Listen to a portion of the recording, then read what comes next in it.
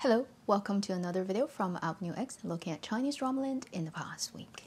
Looking at the background change, I am in a different location again, and I'm finally officially back home in Chongqing. I'll try to stick to the weekly video. As for the weekly two videos, for the last two weeks, I've only got one out because I was traveling and there's a lot of stuff I need to do. I'll from now on try my best to do two videos a week, but if it doesn't happen, well, just blame the four years worth of piled up errands that I haven't been able to run within China. As usual, let's first talk about the dramas that have gone live or will go live soon. First one happened yesterday on the 10th 七时吉祥，Love You Seven Times, led by 丁禹兮 and 杨超越 on the platform 爱奇艺 made by the company which gave us last year's summer slot super popular fantasy idol period drama 苍兰诀 Fairy and Devil. They put out six episodes yesterday. I've watched to episode three. I haven't yet felt a strong feel for this drama up to this point, but I mean, given 苍兰诀 it was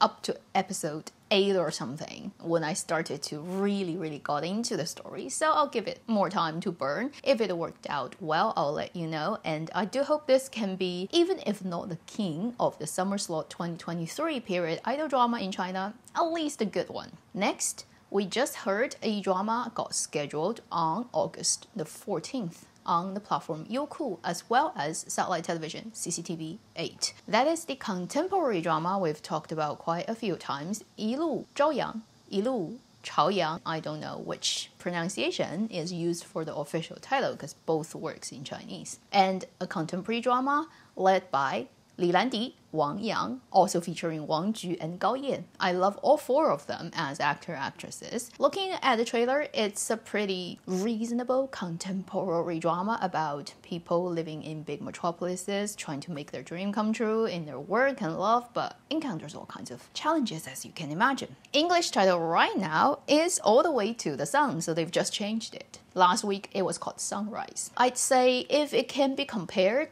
to Be Your Own Light, which I really enjoyed, then that's good enough for me. Then we have a drama. All likelihood, it's gonna go live, if not on that date, which is August the 19th, then sometime around it. Tencent period idol drama zhuo zhuo feng liu English title The Legend of 灼华 and that is the drama led by Feng Shaofeng and Jing Tian, a fictional setting period time girl who passed exam to become an official for the first time in that kingdom. And then there are two more dramas that have released their trailer. Haven't said when they're gonna go live, but all likelihood within August sometime really soon. First one is also from Tencent, and that is the adventure drama we've talked about too many times, led by Nini and Bai Yu, Xi Chu Yumen, West out of Yumen. They have released another trailer this week that looks like the type of trailer dramas tend to release right before it starts airing. And right now, Tencent does need a contemporary drama, right? It has period dramas going on, but it needs one summer holiday contemporary drama. So I guess it's gonna air really soon, probably sooner than we think. For adventure genre drama fans and Bai Yu Nini fans, you have something to look forward to. The other one that has released the trailer is a drama I haven't heard about before, but it looks like quite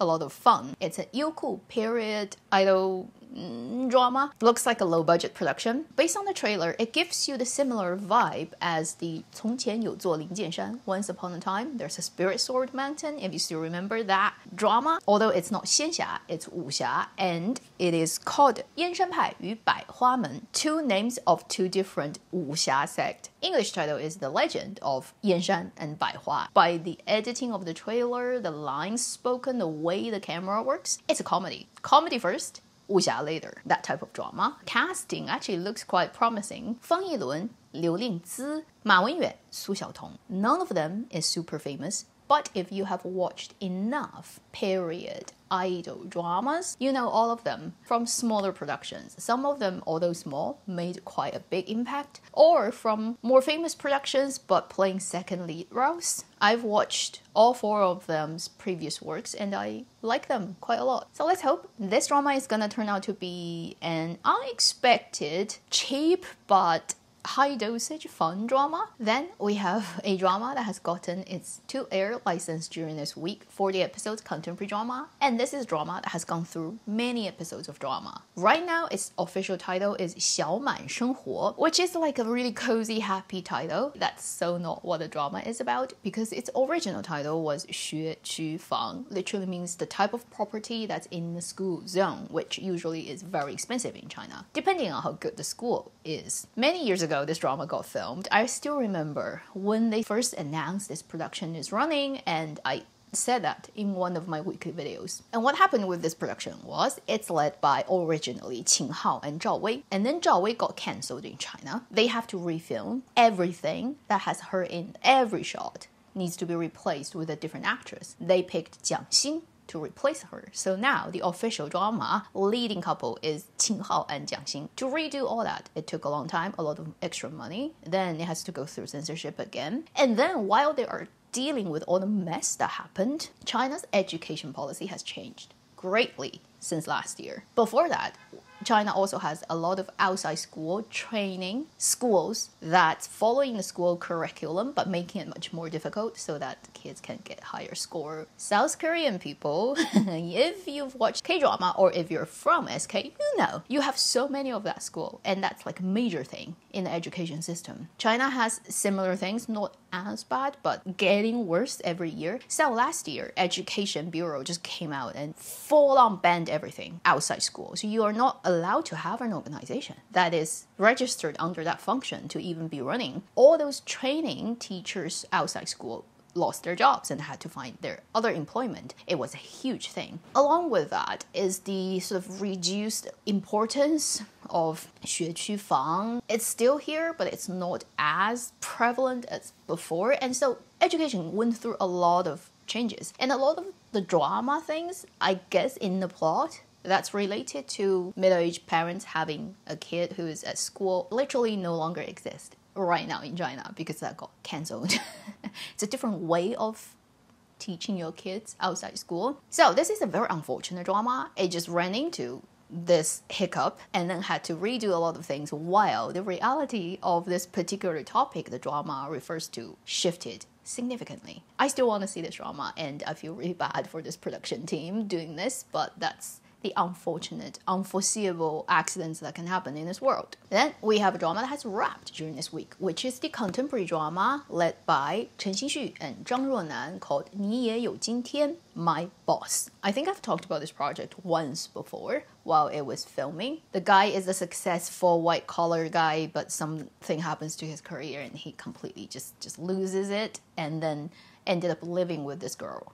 Very typical contemporary romantic drama. I just hope the story wouldn't be too ridiculous, at least watchable and not wasting Chen Xinxu's good looks in really good suits and with his tall, muscly built and looking like a overbearing CEO that everybody is like drooling over with the leaked out photos while he was on set. Then we have two dramas that have started shooting during this week, both period dramas. Both haven't officially officially announced from their official account. Opening ceremony, all that type of things, posters, but paparazzis are working very hard, so we've gotten leaked photos and know that both projects are already filming. I'll let you know which two they are, and they both look quite interesting. First one is called Liu Zhouji, based on an existing IP called Jiao Cang. It is a period fictional setting story of an aristocrat lady who lost her memory and ended up with a bandit very typical love story, and it's led by Wang Churan and Zhang Wanyi. Both of them are right now quite popular due to their dramas are either still airing or just finished airing.